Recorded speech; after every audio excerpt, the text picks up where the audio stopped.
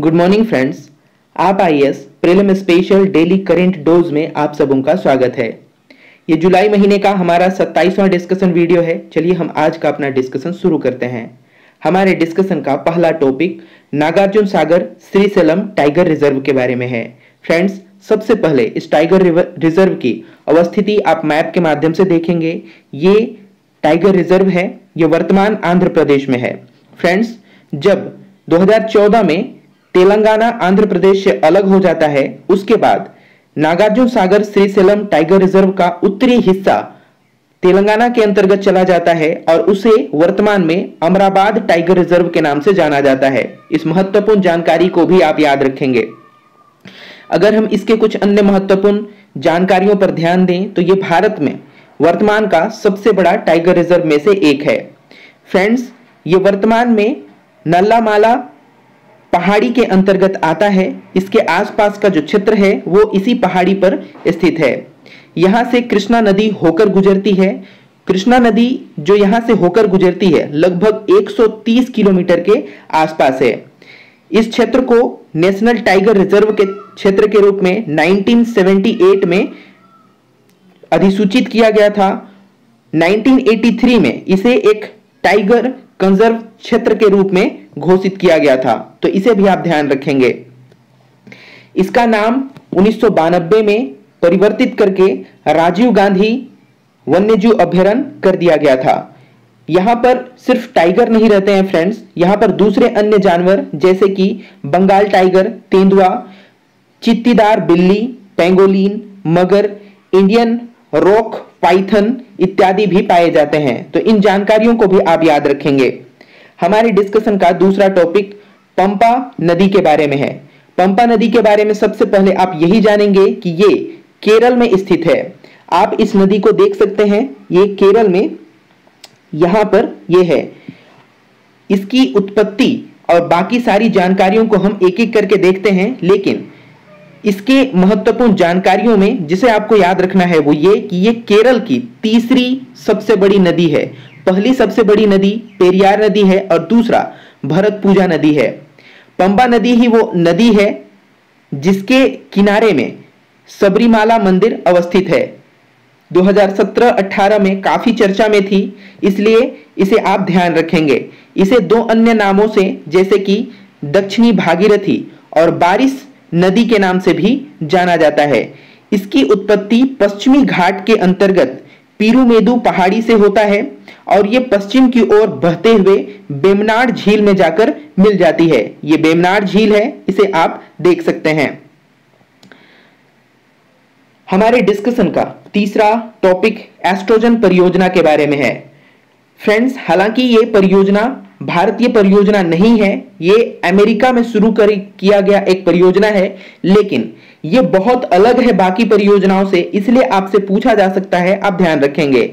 यदि हम बात करें एस्ट्रोजन परियोजना का तो ये एक ऐसी परियोजना है जिसके अंतर्गत जो शिक्षाविद होते हैं वे अपने वंशावली प्रणाली को प्रणा, प्रणाली को जान सकते हैं। कहने का मतलब है कि आप यदि खगोलविद हैं आप खगोल के क्षेत्र में अध्ययन कर रहे हैं और आपको इस क्षेत्र में इतना पढ़ाई करना है कि आपको डॉक्टरेट की उपाधि दी जाए तो आप उस क्रम के दौरान आपके पूर्वज कौन थे, इस बारे में अध्ययन कर सकते हैं, शोध कर सकते हैं। तो इसी परियोजना को एस्ट्रोजन परियोजना कहा गया है।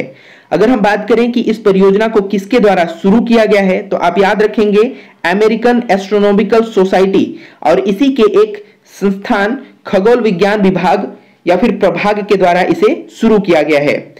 यदि आपको इससे संबंधित प्रश्न पूछा जाता है तो आप इसे ही याद रखेंगे कि वंशावली परियोजना क्या है। यह शिक्षाविदों को ऐसा अवसर देता है कि वे डॉक्टरेट की उपाधि ले सकें और अपने परिजनों या फिर अपने वंशज जो पूर्व में थे, उनके बारे में जानकारियाँ इकट्ठा कर सकें, जान सकें। इसे किसके द्वारा शुरू किया गया है, इसे भी आपको पूछा जा सकता है तो आप इसे ध्यान रखेंगे। हमारे डिस्कशन का चौथा टॉपिक जो है, वो वैश्विक टाइगर डे के बारे में है। यानी कि ग्लोबल टाइगर डे वैश्विक बाघ दिवस के बारे में है। स्टेट पीसीएस या फिर जो वन लाइनर क्वेश्चन एग्ज़ाम में पूछे जाते हैं, उसमें आपको सीधा सीधा पूछा जा सकता है कि वैश्विक टाइगर दिवस किस दिन को मनाया जाता है। ये तो आपको याद होगा 29 जुलाई। लेकिन इससे जुड़े हुए अन्य बहुत सारी जानकारियाँ हैं, जो आपको स्टेट पीसीएस और यूपीएससी दोनों में पूछा जा सकता है। तो सबसे पहले फ्रेंड्स, इस दिवस को मनाने की शुरुआत कब से की गई थी? 2010 से, जब रूस के सेंट पीटर्सबर्ग में एक आयोजन किया गया था, टाइगर समिट। उसके बाद घोषित किया गया कि इसके बाद से लगातार उनतीस जुलाई को टाइगर दिवस के रूप में मनाया जाएगा। यदि इसके कुछ अन्य महत्वपूर्ण बातों पर ध्यान दें तो वर्तमान में भारत में इनकी कुल संख्या दो हज़ार नौ सौ सड़सठ है। जो कि पूरी दुनिया के बाघों की आबादी का लगभग 70 प्रतिशत है। इस 70 प्रतिशत की सीमा को आप याद रखेंगे। अगला यदि हम बात करें भारत में, कौन से वो राज्य हैं जहाँ पर सबसे ज़्यादा बाघों की आबादी है? तो मध्य प्रदेश में लगभग 526 सबसे ज़्यादा, दूसरा 524 यानी कि केवल दो कर्नाटक में है, उसके बाद उत्तराखंड में 442 हैं। आप इन तीनों राज्यों के नाम याद रखेंगे, क्रमवार आपको सजाने के लिए पूछा जा सकता है। यदि हम बात करें कुछ अन्य जानकारियों का तो छत्तीसगढ़ और मिजोरम दो ऐसे राज्य हैं जहाँ पर टाइगर की संख्या में कमी देखी गई है। लेकिन इसके अलावा बाकी जितने भी राज्य हैं, उड़ीसा को छोड़कर, वहाँ पर टाइगर की संख्या में सकारात्मक वृद्धि देखी गई है। ओडिशा में ना तो बाघों की संख्या बढ़ी है, ना ही घटी है। यदि हम बात करें उस टाइगर रिज़र्व का, जहाँ पर वर्तमान में सर्वाधिक संख्या में टाइगर, यानी कि बाघ हैं तो वो बाघ पेच पेच बाघ अभ्यारण जो कि मध्य प्रदेश में है, वहाँ पर है। ऐसा ही एक और सकारात्मक सुधार प्राप्त करने वाला टाइगर अभ्यारण जो है, रिज़र्व जो है, वो तमिलनाडु का सत्यमंगलम टाइगर रिज़र्व है। तो इसे आप ध्यान रखेंगे। इससे जुड़े हुए अन्य महत्वपूर्ण बातों में यदि हम ध्यान दें तो फ्रेंड्स, जो जनगणना किया जाता है, बाघों की संख्या को देखने के लिए, वो हर चार साल में एक बार किया जाता है। आप चार साल में एक बार की इस सीमा को याद रखेंगे। यानी कि पिछला जो जनसंख्या का गणना किया गया था, वो 2018 में किया गया था, उससे पहले 2014 में, अगला जो किया जाएगा, वो 2022 में किया जाएगा। इसे आप याद रखेंगे। इसे किसके द्वारा किया जाता है? तो हर चार साल में नेशनल टाइगर कंजर्वेशन ऑथोरिटी, यानी कि राष्ट्रीय बाघ संरक्षण प्राधिकरण के द्वारा किया जाता है। और इसमें जो बाकी राज्यों राज्यों की सरकारें होती हैं या फिर राज्यों के वन विभाग होते हैं और इससे जुड़े हुए बहुत सारे ऐसे संस्थान होते हैं, उन सबके सहयोग से इसे पूरा किया जाता है। आपको जो याद रखना है, वो नेशनल टाइगर कंजर्वेशन ऑथोरिटी का नाम याद रखना है। यदि हम बात करें कि ये जो संख्या लगातार बढ़ रही है, उसके लिए क्या प्रयास किए गए हैं तो आप इसके लिए याद रखेंगे कि भारत में जो प्रश्न पूछा जा सकता है, उसके अंतर्गत भारत में 1973 में प्रोजेक्ट टाइगर की शुरुआत की गई थी। वर्तमान में भारत में लगभग 50 टाइगर रिज़र्व हैं। अभी हमने कुछ दिन पहले देखा था कि उत्तर प्रदेश में दो ऐसे क्षेत्रों को फिर से टाइगर रिज़र्व घोषित करने के लिए कार्य शुरू कर दिया गया है। आप उसका नाम आपको याद है तो कमेंट करके बताएँगे। यदि आपको नहीं है तो हम इसको, आपको पिछले नेक्स्ट जो हमारा डिस्कशन होगा, उसके अंतर्गत आपको हम लोग बताने की कोशिश करेंगे। तो ये तो पहली जानकारी थी जो पूछा जा चुका है, पूछा जा सकता है अब ध्यान रखें।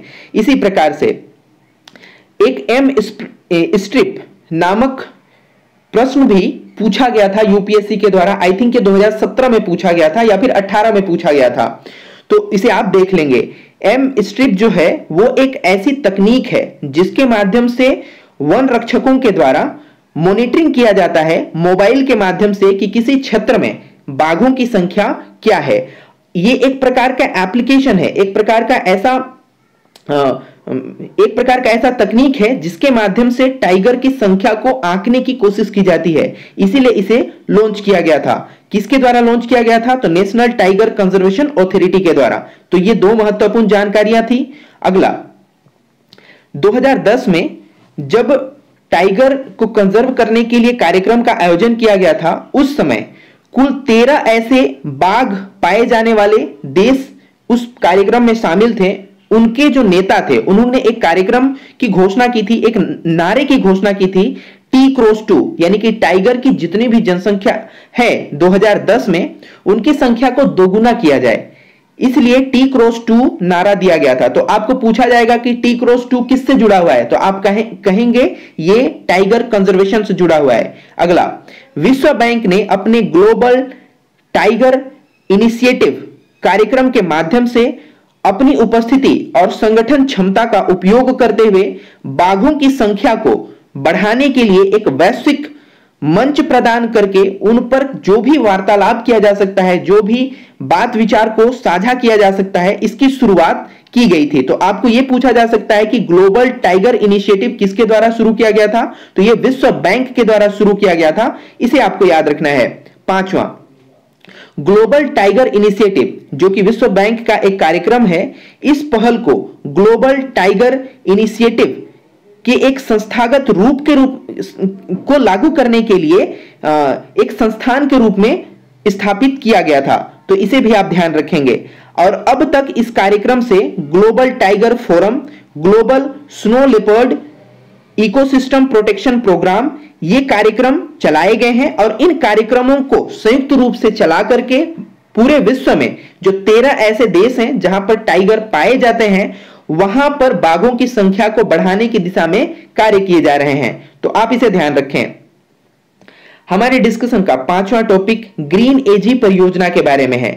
फ्रेंड्स ग्रीन एजी परियोजना को सिंपल भाषा में आप ऐसे समझिए कि यह एक ऐसी परियोजना है जिसके माध्यम से भारत में बहुत सारे ऐसे खेती की पद्धति है जो पारंपरिक रूप से की जाती है और उस पर किसी प्रकार की ज़्यादा तकनीकों का उपयोग किए बिना अच्छी खासा, अच्छी खासी उत्पादकता प्राप्त की जाती है।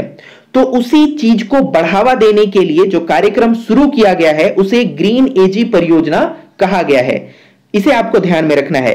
अभी ये न्यूज़ में क्यों था फ्रेंड्स? क्योंकि ग्रीन एजी परियोजना को, जिसे केंद्र सरकार के द्वारा कृषि के किसी भी प्रकार से उत्सर्जन, जो अलग अलग प्रकार से उत्सर्जन होते हैं, जिससे पर्यावरण को नुकसान होता है, उसको कम करने की दिशा में और सवहनीय कृषि पद्धति को बढ़ावा देने के लिए मिजोरम में इसकी शुरुआत कर दी गई है। हालाँकि इस कार्यक्रम को भारत के पाँच राज्यों में पायलट प्रोजेक्ट के रूप में शुरू किया गया है। लेकिन सबसे पहले इसकी शुरुआत कहाँ की गई है? मिजोरम में। जो चार अन्य राज्य हैं जहाँ पे ग्रीन एजी परियोजना को शुरू की गई है, वो राजस्थान, मध्य प्रदेश, ओडिशा और उत्तराखंड है। इन चारों राज्यों और मिजोरम, इसको आपको याद रखना है। आपको यह भी पूछा जा सकता है कि ग्रीन एजी परियोजना किससे जुड़ी हुई है? तो आप कहेंगे, ये जो भारत में बहुत सारे ऐसे परंपरागत कृषि पद्धति है, उसको संरक्षित करने के लिए केंद्र सरकार के द्वारा शुरू किया गया एक कार्यक्रम है। इस परियोजना के लिए पैसा कहाँ से आ रहा है? तो फ्रेंड्स, ग्लोबल इन्वायरमेंट फैसिलिटी, यानी कि जीईएफ e वैश्विक पर्यावरण सुविधा के माध्यम से इस कार्यक्रम के अंतर्गत पैसा आ रहे हैं। इस कार्यक्रम को दो महत्वपूर्ण संस्थान, यानी कि F food and agriculture organisation खाद्य और कृषि संगठन, जिसे हम हिंदी में कहते हैं वो तथा भारत के, ये तो यूएन का संस्थान है, यानी कि संयुक्त राष्ट्र का संस्थान है, और भारत के केंद्रीय मंत्रालय, वन और जलवायु परिवर्तन मंत्रालय, इन दोनों के द्वारा मिलकर, यानी कि एफ़ और भारत के पर्यावरण मंत्रालय, दोनों के द्वारा मिलकर इस कार्यक्रम को लागू किया जा रहा है। इसके लिए एक अलग से क्रियान्वयन एजेंसी का गठन किया गया है, जो कृषि और सहकारिता एवं कृषि कल्याण विभाग के अंतर्गत रहकर इसको लागू कराने का कार्य करेगा। तो इसे आप ध्यान रखेंगे। जैसे मैंने आपको बताया कि इसका मुख्य उद्देश्य यही है कि भारत में जो कृषि की विविधता है, जैव विविधता है, उसको संरक्षित किया जाए। इसके माध्यम से जलवायु परिवर्तन की जो तीव्रता है, उसे रोका जाए। स्थानीय भूमि का प्रबंधन किया जाए और इन पद्धतियों को एकीकृत रूप से संचालन करते हुए जो अलग अलग खेती के प्रकार हैं, उसको प्रोटेक्ट किया जाए। फ्रेंड्स ये इसलिए ज़रूरी है क्योंकि केरला के अंतर्गत आपने सुना होगा कि एक प्रकार की खेती की जाती है, वो धान की खेती होती है और उस धान की खेती को लवणीय जल में किया जाता है। और उसके जो धान होते हैं, उसके जो चावल आते हैं, वो लवणीय नहीं होते हैं, खारा नहीं होते हैं। इसलिए आप इसे कहेंगे कि ये भारत की एक अलग सी पद्धति है, ऐसे ही। असम में जो आपातानी जनजाति है, उनके द्वारा ऐसी खेती की जाती है, जो यदि एक प्रकार से खेतों में बाढ़ आ भी जाए तो उस धान के खेत को नुकसान नहीं होता है, धान की खेती को नुकसान नहीं होता है। तो इस प्रकार की यदि रेजिलियंस खेती है भारत में तो उसको संरक्षित करने की आवश्यकता है। आप इस बात को भी जानते हैं कि बहुत सारे ऐसे दवा के उत्पाद हैं, जिनको यदि संरक्षित किया जाए तो इससे कितना फ़ायदा हो सकता है?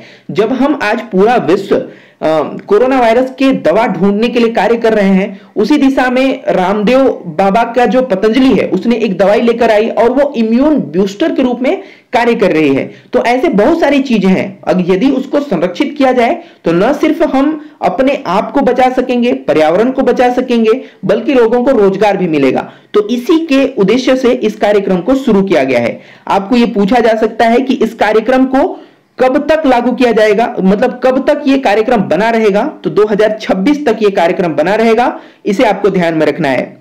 जो मिजोरम राज्य में इसे लागू किया गया है कुल 35 गाँवों में लागू किया जाएगा। वहाँ पर दो टाइगर रिज़र्व है एक तो डंपा बाघ अभ्यारण हालाँकि यहाँ पर एक भी बाघ नहीं है। यहाँ और थो, थोरंग तलांग वन्यजीव अभ्यारण्य इन दोनों क्षेत्रों में भी इसे लागू किया जाएगा। इन दोनों क्षेत्रों को भी चयनित किया गया है इस कार्यक्रम को लागू करने के लिए। तो आप इसे भी ध्यान रखेंगे। हमारे डिस्कशन का अगला जो टॉपिक है वो प्री पैक के बारे में प्री पैक किससे जुड़ा हुआ है? ऐसा करके आपको यूपीएससी प्रश्न पूछ सकती है। तो फ्रेंड्स आप याद रखेंगे प्री पैक जो है वो दिवालियापन इंसॉल्वेंसी और बैंक्रप्सी कोड जो भारत में बैंकों के, जो संस्थान होते हैं, उनको दिवालिया होने से बचाने के लिए या फिर रेगुलेट करने के लिए जो बनाया गया था 2016 में कानून उसी के अंतर्गत ये प्री पैक है। कहने का मतलब ये है इसे आसान भाषा में आप ऐसे समझिए। मान लेते हैं कि कोई कंपनी है वो कम, उस कंपनी ने अपने कुछ निवेशकों के सहयोग से और कुछ लोगों से लोन लेने के बाद एक कंपनी को शुरू की थी। कुछ समय के बाद ऐसा होता है कि ये कंपनी अब प्रॉफिट में नहीं जाती है तो जो निवेशक हैं वो क्या कहेंगे? कि भैया आप हमको पैसा दे दो आप कंपनी अच्छा से नहीं चला पा रहे हो। या फिर जिन बैंकों से इस कंपनी ने लोन लिया है वो बैंक भी तो कहेंगे ना आपका पैसा एनपीए में जा रहा है आप लोन का चुकता नहीं कर रहे हैं तो आप क्या करें? हमको अपना पैसा उधार दे, मतलब देना शुरू करें और इसके लिए दबाव बनाना शुरू करेंगे। इन सब चक्करों में क्या होगा? उस कंपनी का और ज़्यादा नुकसान होने लगेगा। ना तो वो कंपनी अपने उत्पादन को आगे बढ़ा पाएगी, ना ही वो प्रॉफिट में जाने के लिए कोई कदम उठा पाएगी। तो फिर क्या किया जाता था पहले कि इस कंपनी को नीलाम करने के क्षेत्र में कार्य किया जाना शुरू किया जाता था। लेकिन अब क्या किया गया है कि कॉरपोरेट मामलों के मंत्रालय ने प्री पैक को कैसे इस क्षेत्र में लागू किया जाए कि बिना कंपनियों को नीलाम किए उस कंपनी को बने रहने दिया जाए। यानी कि क्या किया जाएगा? इसको कुछ छूटे दी जाएँगे। जैसे कि बैंकों को कहा जाएगा कि भैया आप किचिर किचिर मत करो, पैसा मत मांगो अभी कुछ समय के लिए। जो निवेशक हैं, उन निवेशकों को कहा जाएगा कि आप उस वहाँ उस कंपनी में कुछ शेयर खरीद लो और उस कंपनी की कुछ हिस्सेदारी रखो और आप कंपनी को बढ़ाने के क्षेत्र में कार्य करो। उस कंपनी को परेशान मत करो। ऐसे बहुत सारे कार्य किए जा सकते हैं। यदि ऐसा किया जाएगा तो वो कंपनी को अपने आप को फिर से बूस्ट करने का ग्रो करने का मौका मिल जाएगा। और यदि ऐसा होता है, ऐसे मौके दिए जाते हैं तो उसे ही प्री पैक कहा गया है। इसे आप आसान भाषा में यदि आपने समझ लिया तो अब इससे संबंधित कुछ भी स्टेटमेंट आपको पूछा जाता है, आप इसे उत्तर देने में सक्षम हो पाएँगे। यदि आपको यह पूछा जाता है कि प्री पैक जो है, वो किससे जुड़ा हुआ है तो आप कहेंगे इंसोल्वेंसी एंड बैंक्रप्सी कोड यानी कि दिवाला और दिवालियापन संहिता से जुड़ा हुआ है। इसको लागू करने के लिए वर्तमान में एक कमिटी का गठन किया गया है, इसलिए यह न्यूज़ में था तो इसे आप ध्यान रखेंगे। एक अन्य बात जो प्री पैक लागू किया जाएगा, उसको 90 दिनों के अंदर अंदर पूरा करना है। मतलब लागू कर दिया जाएगा और देखा जाएगा कि वो कंपनी 90 दिन के अंदर अंदर बूस्ट कर रही है कि नहीं, उसके विकास में वृद्धि हुई है कि नहीं, इन सबको देखा जाएगा। उसके बाद फिर लेनदारों को कहा जाएगा कि जाओ, आपको जो करना है करो। आपको नीलाम करना है या फिर जो करना है आप कर सकते हैं। ये नब्बे दिनों के बाद कहा जाएगा। तो ये नब्बे दिन की सीमा को भी आपको याद रखना है। अब कुछ इसी से जुड़े हुए हमारे एमसीक्यू हैं, उसे आप फटाफट देख लें। क्या कहता है कि नागार्जुन सागर श्रीसेलम टाइगर रिज़र्व कहाँ है? आसान है। अभी अभी हम लोगों ने डिस्कशन किया है, आंध्र प्रदेश, ऑप्शन बी, इसका आंसर होगा। इसी से संबंधित एक अन्य प्रश्न है प्रश्न है, नबाम रेबिया और बामंग फ्लेक्सिस बनाम डिप्टी स्पीकर, मामला 2016 जो था, वो किससे जुड़ा हुआ है? तो फ्रेंड्स, आप याद रखेंगे, ये राज्यपाल के विवेकाधीन शक्ति से संबंधित है। मतलब इस मामले में जो कोर्ट थी, उसने कहा था कि जो राज्यपाल हैं, उनको इतना विवेकाधीन शक्ति है कि वो विधानसभा के कार्य को आहूत कर सकते हैं, उसको स्थगित कर सकते हैं या फिर उसको भंग कर सकते हैं। ऐसा आदेश दिया गया था। कौन से मामले में? नबाम, रेबिया और बामंग फ्लेक्सी बनाम डिप्टी स्पीकर के मामले में। तो इसे आप याद रखेंगे। ये इसलिए न्यूज़ में है क्योंकि अभी आप राजस्थान के मामले को देख रहे हैं कि कैसा वहाँ पर राज्यपाल जो है, वो सदन को शुरू करने या फिर नहीं करने से संबंधित क्या प्रक्रिया चल रही है, आप जान रहे हैं। जो आपसे पूछा जा सकता है, वो ये हो सकता है तो आप इसे ध्यान रखेंगे। एक अन्य प्रश्न जो है वो, एक क्षेत्र एक एक तरफ़ जो समाचारों में रहने वाले क्षेत्रों के नाम दिए गए हैं, दूसरे तरफ़ उससे संबंधित देश के नाम दिए गए हैं। आपको ऐसा प्रश्न यूपीएससी लगातार पूछ रही है, आप ध्यान रखेंगे। हमने इससे संबंधित कुछ टॉपिक पर डिस्कशन किया भी है, और जो न्यूज़ में है, वो हम आपके लिए लेकर आए हैं तो आप ध्यान रखेंगे। ये पहला क्या कहता है, सही जोड़ों को आपको पहचान करना है। पहला कहता है ओका वांगो डेल्टा, ये बताता है इथोपिया में है। हमने पिछला डिस्कशन में इसे किया था। ये तो बोत्सवाना में है ना तो इसलिए पहला गलत हो जाता है। दूसरा, दाफूर ये बताता है सूडान में है। बिल्कुल सही है, आप याद रखेंगे, दाफूर जो है, वो सूडान में है। कहाँ पर है? मैं मैप के माध्यम से दिखाता हूँ। बंदर अब्बास ईरान में है, ये बिल्कुल सही है। इस क्वेश्चन का आंसर ऑप्शन सी होगा। तो इसे आप ध्यान रखेंगे। अगर हम बात करें दाफूर का, हालाँकि हम लोगों ने ओका वांगो डेल्टा बोत्सवाना में है, इसे देख चुके हैं। आप पिछला डिस्कशन जाकर देख सकते हैं। दाफूर को आप देखिए, ये सूडान है। यहाँ पर लाल सागर है। अब आपको दिमाग में बैठ गया होगा कि ये कहाँ है। इधर इथोपिया है, इधर इट्रिया है, इधर साउथ सूडान का क्षेत्र है, इधर केनिया है डेमोक्रेटिक रिपब्लिक कोंगो है। ये सब आप इधर देख सकते हैं। लेकिन जो दाफूर का क्षेत्र है, वो सूडान के पश्चिमी हिस्से में यहाँ पर है, इसे आप देख सकते हैं। हुआ क्या था कि इस क्षेत्र में कुछ लोग, कुछ विद्रोही लोग जाते हैं और बहुत सारे लोगों का नरसंहार कर देते हैं। तो इसलिए यह न्यूज़ में था। बहुत सारे मतलब लगभग साठ लोगों का नरसंहार किया गया था, इसलिए यह न्यूज़ में था। तो इसे आप ध्यान रखेंगे। दाफूर कहाँ है? ये सूडान में है। साउथ सूडान कहेगा तब भी आप सतर्क रहेंगे। साउथ सूडान इधर है और सूडान यहाँ पर है। तो इसे आप ध्यान रखेंगे। यदि हम बात करें बंदर अब्बास का तो फ्रेंड्स ये ओमान है। इधर इधर यूएई है, ओमान का एक हिस्सा यहाँ पर भी है, इसे आप देख सकते हैं, ईरान यहाँ पर है।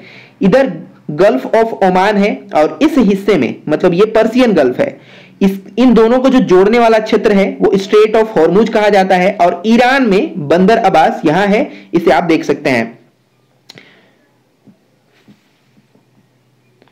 इसी से जुड़ा हुआ एक अन्य प्रश्न जो हमने अपने पिछले डिस्कशन में दिया था ब्लू पॉपी इसको हिंदी में आपको पूछा जा सकता है ब्लू खसखस, क्या होता है? तो यह कहता है कि इसके बारे में निम्नलिखित कथनों पर विचार करें। तीन कथन दिए गए हैं, सही कथन की पहचान करनी है। पहला कथन कहता है, इसे हिमालयी फूलों की रानी की माना जाता है। बिल्कुल सही है, हम लोगों ने अपने पिछले डिस्कशन में देखा था। आगे कहता है कि यह कुमाऊं कश्मीर तक लगभग तीन हज़ार से लेकर पाँच हज़ार की मीटर की ऊंचाई में पाए जाते हैं। यह जानकारी भी बिल्कुल सही है। आगे कहता है, यह फूलों के पौधे की एक प्रजाति है, जिसमें जिसमें से अफीम और खसखस दोनों प्राप्त होते हैं, यह मूल्यवान सजावटी पौधा भी है। फ्रेंड्स इसमें सब कुछ तो ठीक है, लेकिन ये अफीम, यानी कि जो नशीला पदार्थ है, उस प्रकार से कार्य नहीं करता है। ये खसखस है मतलब ये खसखस एक प्रकार का, खसखस जो होता है ना, वो एक प्रकार का पेय पदार्थ होता है। वो लोगों को, जैसे लोग शरबत पीते हैं, नींबू पानी पीते हैं, वैसे ही खसखस जो होता था, वो एक प्रकार का पेय पदार्थ होता था जिसको मुख्य रूप से कुमाऊं के क्षेत्र में, यानी कि कश्मीर के क्षेत्र में और हिमाचल प्रदेश, उत्तराखंड के क्षेत्र में जब लोग मेहमान आते थे तो वहाँ पर पिलाया जाता था। तो ये ब्लू पोपी से ही बना होता था। तो ये तो बिल्कुल सही है, लेकिन ये अफीम के रूप में यूज़ नहीं किया जाता है, ये नशीला नहीं होता है। तो ये आप ध्यान रखेंगे। हालाँकि इसका सजावटी फूल के रूप में भी उपयोग किया जाता है, इसलिए।